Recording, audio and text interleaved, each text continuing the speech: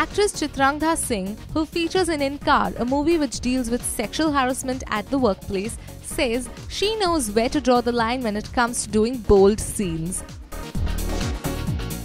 As long as I'm comfortable with my director and the co stars, I'm open to doing the bold scenes. But I do have my own limits and I know where to say no, said Chitrangda. If you are not involved in a scene, your discomfort shows on screen and it makes you look stupid, she added. As an actor, Chitrangda has opened up to new things, commercial Bollywood movies as well as item numbers.